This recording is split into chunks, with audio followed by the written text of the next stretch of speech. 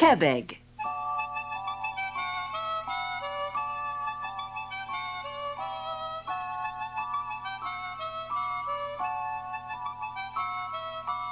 Once upon a time, there was a little fairy calf, no bigger than a kitten, with big black eyes and a soft nose.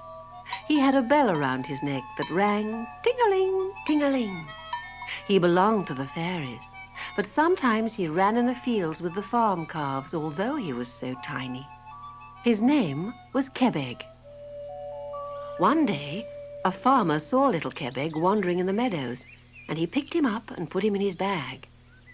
I'll take him home for my little girl to play with, he said to himself. When he got home and took Kebeg out of his bag, his little girl Jenny was very pleased. She fed him with milk and kept him in an old rabbit hutch. Every day she took him for a walk with a ribbon round his neck. Don't he let go of the ribbon, said her mother. Kebeg is a fairy calf, and if you let go, he'll run back to the fairies. I don't think he'd ever run away from me, said Jenny, because I love him so much. One day, Jenny and Kebeg were out walking together. The little calf frisked and pranced, but Jenny kept tight hold of the end of the ribbon. Suddenly, a little fairy man appeared, all dressed in green, with a pointed red hat. Would you like to come with me and see a fairy house? asked the little fellow. Yes, I would, said Jenny. Has it got a little chimney? Yes, it has, So they went off together, Jenny leading Kebeg by his ribbon. At last they came to a gorse bush.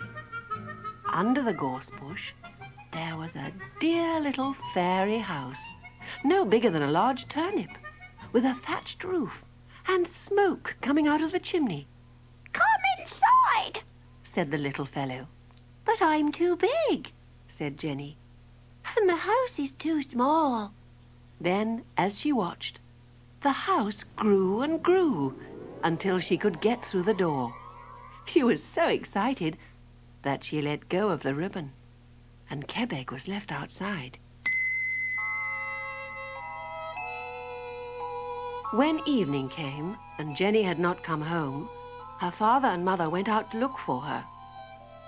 They thought they heard the faint sound of Kebeg's bell, and they followed the sound further and further till they came to the gorse bush where Jenny had gone with the little fellow.